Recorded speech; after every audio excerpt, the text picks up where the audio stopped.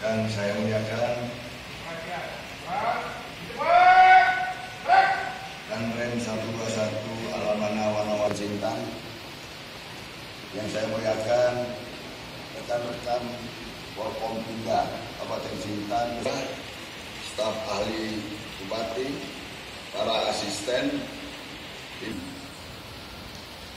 Bismillahirrahmanirrahim. Assalamualaikum warahmatullahi Om Namo Buddhaya, Salam Kebajikan. Indonesia adalah seimbang melalui pendekatan hukum dan pendekatan kesehatan, sosial, serta pendidikan.